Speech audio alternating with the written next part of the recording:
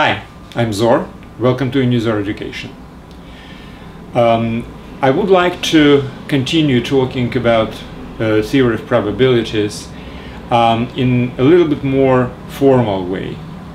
Um, this lecture is part of the whole um, course of advanced mathematics for um, uh, teenagers, uh, primarily high school students, which is presented on, Unizor, on unizor.com.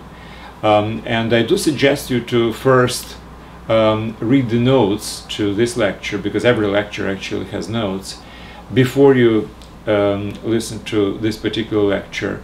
Uh, it will help you to um, get into this um, formality uh, or, or, a little bit more formal approach to theory of probabilities a little better.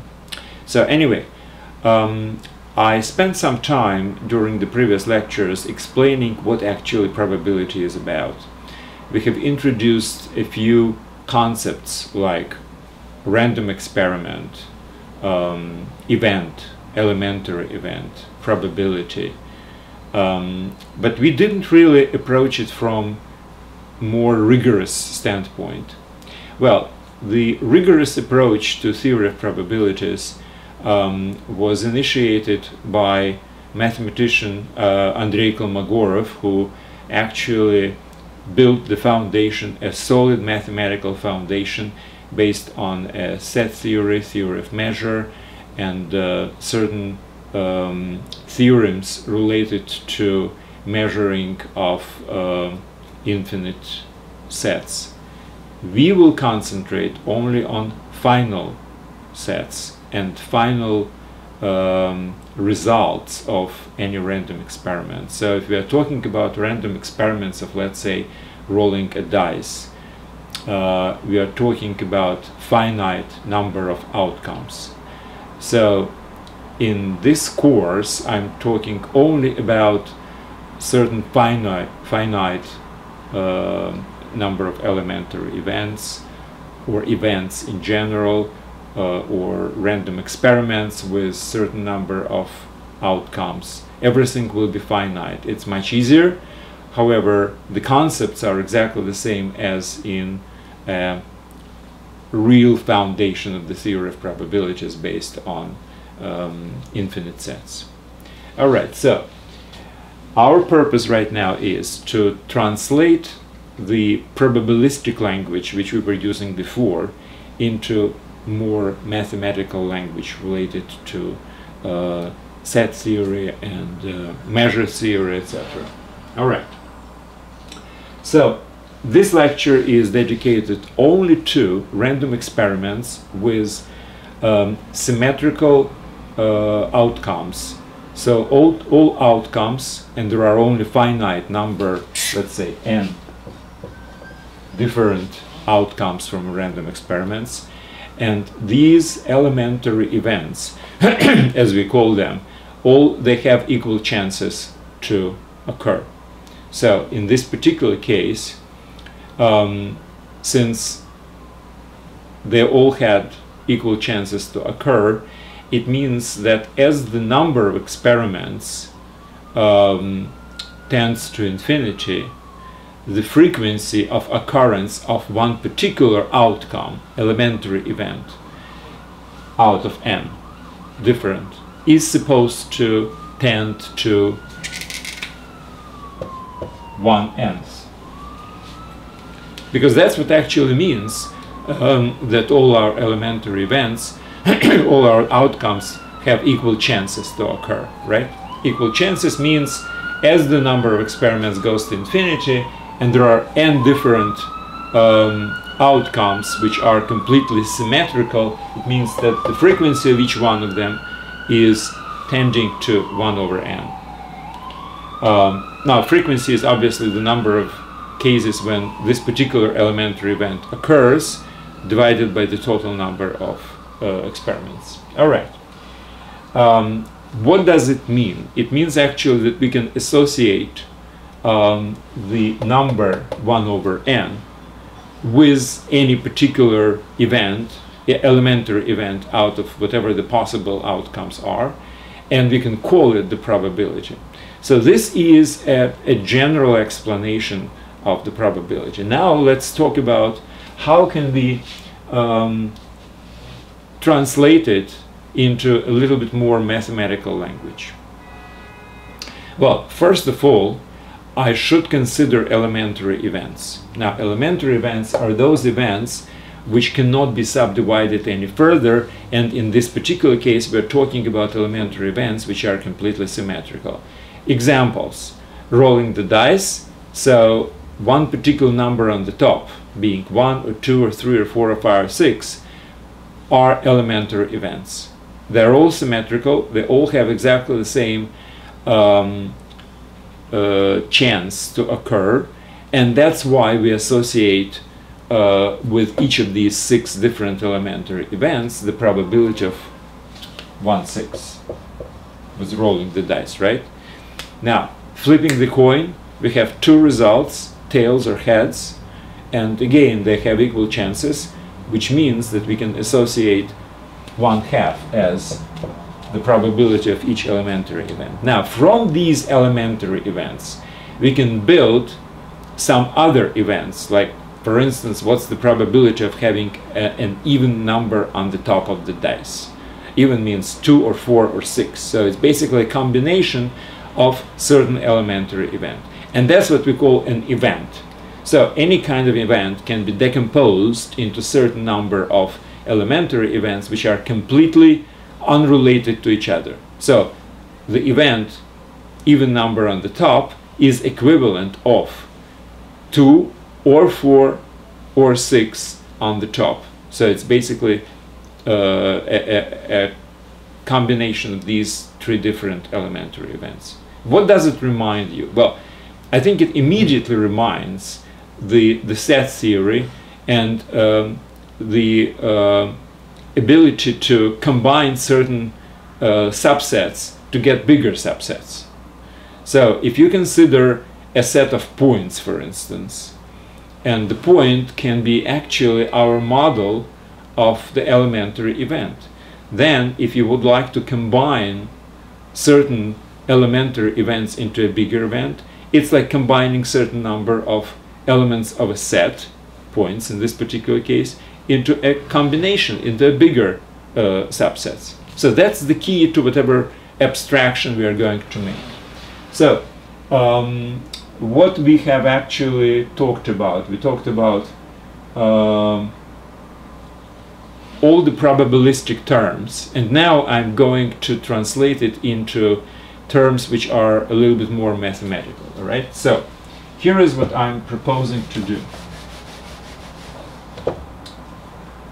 now we have a random experiment and the results the elementary the smallest results the outcomes of this random experiments, that's what we call elementary events. Now, I will consider a set of elements as a model of a random experiment with certain number of elementary events as outcomes. So the set of elements is basically a set of elementary events which can occur as a result of a random experiment. Okay. So now we are talking about random experiments with finite number of elementary events. So that's why we have to consider a set of not just of elements uh, and set of finite number n elements. All right. So the mathematical equivalent of the random experiments with n uh, outcomes is my set of n elements. Okay, now we are talking that we can combine certain elementary elements into el elementary events into an event, like from the different elementary events which are the outcomes of the rolling the dice, we can combine three of them 2, 4, and 6 and said, okay, this constitutes an event of having an even number on top, right? So, what I can talk about um, equivalency in the set theory is any subset is an event. So my elements are elementary events, and the subset, which is a combination of elements, obviously. Uh, any subset can be an event. Well, there are many different subsets. Actually, there was a very interesting problem of how many subset does a set of n elements have. So that that's actually was discussed before. But anyway, um, so we have some kind of an equivalency, equivalency between um, random experiments with n outcomes with a set of n elements. Any event which is a combination of elementary events is basically a subset of this set. Now let's talk about the probability. Well, we have actually assigned the probability of 1 over n for every elementary event in the random experiments of n different symmetrical outcomes. So what I can say here is I can say that the measure of each element is 1 over n. So what does it mean? I've just associated a measure. Now, what is an, uh, some kind of an, uh, an, analogous consideration of this? Well, it's it's actually very simple. Um, it's um, for instance, uh, you have a, a, a field, let's say, and you divide it into squares, and each square has certain area, right? Let's say it, it has one square meter, right? So these are my elements, which basically are equivalent of um, elementary events. And any combination, let's say this one, three elements, it constitutes an event. And if the measure of one particular element is known, then the combination of these three elements can be calculated as a sum of them, right? So in this case, it's three square meters. So what I'm saying is that the measure of a subset that the measure of a subset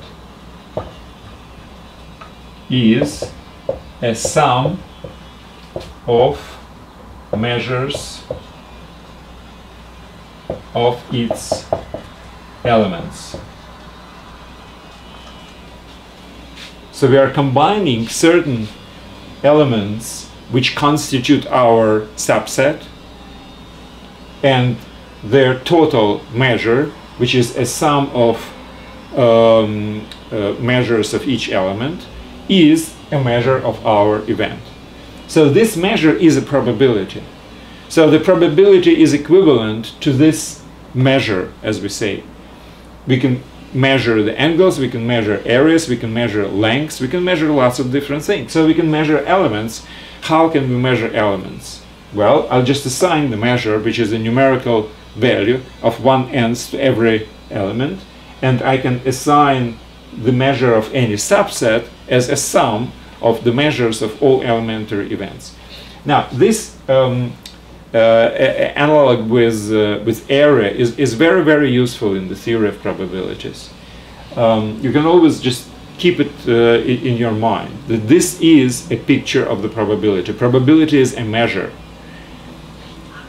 All right, so um, we've got the measure of every element, and that's the equivalent of the probability of the elementary event. We've got the probability of any subset, which is an equivalent of the probability of any event, which is a combination of elementary events. What else? Okay, um, what's the probability of having no events at all? Well, that means that, what, do, what does it mean that nothing happens? Well, it's an empty subset in our set theory. In our new terminology, if we want to know what's the probability of nothing happens? Well, the probability is the sum of all the measures of the elements which constitutes which constitute an empty subset. Well, how many elements are an empty subset? Zero. Right? So out of n elements which are constituting our set, zero elements combined together constitute the empty set. And obviously, since the number is zero, their measure, the measure of empty set is, is zero. So the probability of occurring nothing is zero. Now, what's the probability of occurring something? We don't really care what occurs. So some event occurs. So either the dice falls on one or two or three or four or five or six. So anything goes, basically. Well, what is this? That's the probability of an entire set. So all the elements should be combined together.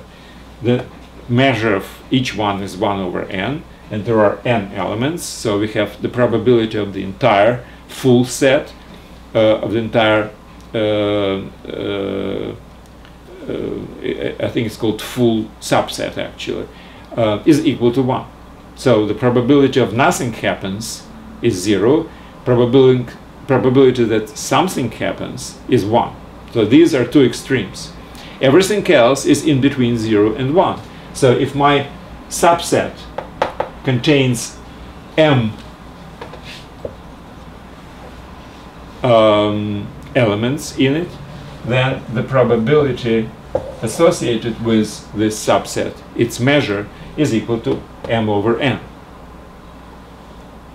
All right, so we know how to measure um, the probability of every event. We just add the probabilities of uh, elements, uh, uh, ele elements uh, which constitute that particular subset. So event is a subset, it contains elements, so we add them up together. All right, that that's covered. And what's um, what's also interesting is um, let, us go back to this uh, example of having uh, an even number on top of the dice, 2, 4, or 6. Um, well, what's very important in this case is to understand that you have the probability you have the probability of each event, right? So the probability of 2 is 1 6, probability of 4 is 1 6, probability of 6 is 1 6, and the probability of 2 or 4 or 6 equals to 3 6 which is 1 2 1 over 2 1 half you see the, the, the probability is not just a measure it's additive measure so the measure is additive if you have two different subsets so this is your set it has elements okay now, this is one subset, and this is another subset. Now, you have measure of this thing, and you have measure of this thing. Now, let's consider a subset which contains this uh, and this element. So all elements. It's basically the result of a logical OR. All right. So the probability of a point being um, an element of this or element of that basically is equal to sum of these probabilities. Because the measure of the combined area is basically a sum of these two areas as long as they don't intersect obviously. Because if they intersect then you count twice something. But if they don't if these two events are completely independent then their measure is always a sum of measures and that's why their probability is measure of these two probabilities so that's kind of an explanation of what actually this um, equivalent equivalent uh, equivalency to measure theory is about. So what's important is to understand that to, to, to have this parallel between theory of probabilities and more mathematically expressed set theory and measure theory is to understand that we need to have certain elements of this um, analogy, we should have a set of elementary of elements. Each one of them is an, uh, an elementary event. We have to have measure, and we really have to have this measure as additive measure. It should be additive. And we can always say that the measure of the entire set should be equals to 1, and that gives us the baseline. So everything else, the subset of this set would be smaller than 1, down to an empty subset which has a measure of 0. So that's basically my um, uh, my explanation of how to um, provide more mathematical background to theory of probability and um, and and that actually allows to use the, the, the purely mathematical apparatus to, to theory of probabilities. Before um, this foundation, this mathematical foundation was was basic was, was developed um, uh, for theory of probabilities, we could not really calculate lots of different very very sophisticated things in the theory of probabilities. It, it lacked that mathematical apparatus. Well, since the foundation was basically established, since we can say that the set theory and measure theory are basically the foundations, the theory of probabilities, we can have full, full scale of mathematics to, uh, to deal with theory of probabilities and its uh, problems. Now let me repeat that in this course I'm talking only about finite sets uh, of uh, elements as being equivalent to certain um, random um, experiments with finite number of occurrences. Now, in most of the cases, all these occurrences are equal chanced. So the probability of every element, which is uh, one of the elements in, in that set, uh, which, which is an analogy of the random experiment, would be equal to 1 over n, where n is the number of elements or number of outcomes from this random experiments. We will deal only with, with, these, with these finite distributions of probabilities. Well, that's basically it for, uh, for what I wanted to say. Okay, so finally, um, the sample space which is a, a, a, random experiments with all the outcomes basically is equivalent to mathematical set. Um, the elementary event elementary event is element of this set any event is a subset and probability is additive measure.